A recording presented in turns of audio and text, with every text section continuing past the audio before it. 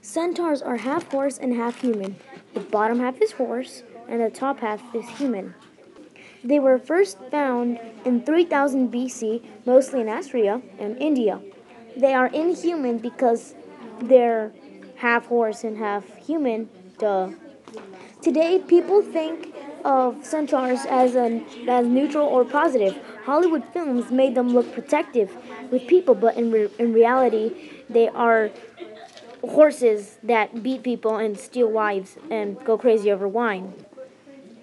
They are a negative source because they um, they are known for violence and they um, go crazy over women and wine. The backstory is that the centaurs, centaurs were kidnapping Hercules' wife. Hercules shot the centaur, shot the centaur Nessus with a poisonous arrow.